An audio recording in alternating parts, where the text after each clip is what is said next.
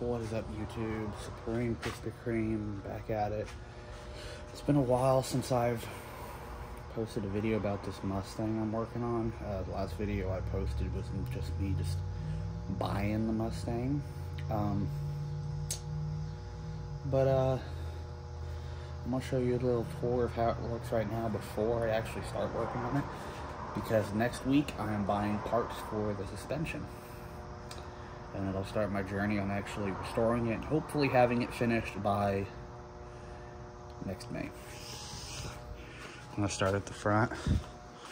Um, I got the fenders over there. I'm still contemplating if I'm gonna replace the fenders. Here's the engine bay. A lot of this is getting replaced. I started sandblasting it, but I'm gonna wait until the very end of sandblast it because there's stuff that I might sandblast and then end up replacing anyways. All that's to be replaced. Um, tires, all four tires are on ramps right now, so it's off the ground. Yeah, um, there, that's the front of it. I've got the bumpers over there. These are all parts that are already taken out of it when I got it. Like got the alternator, carburetor, random stuff. That muffler wasn't from this, it was actually from another vehicle. I've got the original engine in here. Um, the transmission's right there. Wrapped up. Uh, here's the inside. The inside's basically gutted. I've got the passenger seat and the back seat up there. Um, there's also the drive shaft. There's a seat, steering column, glove box, floor pans are gonna be replaced all.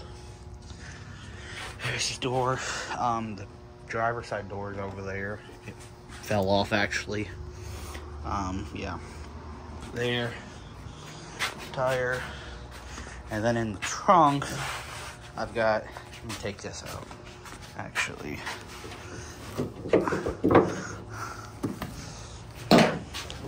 I've got the windshield windshield's still gray, so I'm gonna put that back in.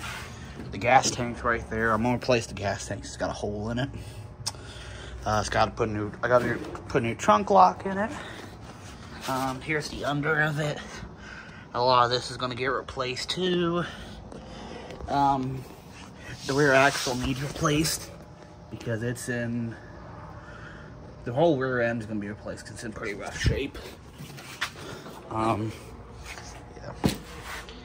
Side fenders are good.